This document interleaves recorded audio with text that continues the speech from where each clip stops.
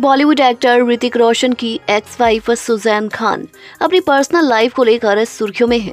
कहा जा रहा है कि इन दिनों सुजैन अपने रियूमर बॉयफ्रेंड अरसलन गोनी को डेट कर रही हैं। आए दिन उनके साथ स्पॉट होती हैं। वहीं रविवार को सुजैन ने अपने इंस्टाग्राम पर रियूमर बॉयफ्रेंड अरसलन गोनी संग एक फ़ोटो शेयर की थी, जिसमें वो उन्हें गले लगाती नज़र आ रही हैं। इस फ़ोटो के साथ उन्होंने अरसलन गोनी को जन्मदिन की बधाई दी थी।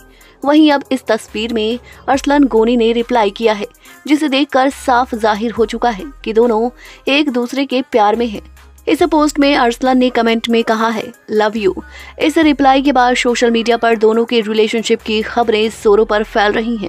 भले ही सुजैन खान यह बात छुपाती रही हो कि वह अरसलन गोनी को डेट कर रही हैं, पर अब यह ज़ाहिर हो गया है कि दोनों एक दूसरे से प्यार करते हैं।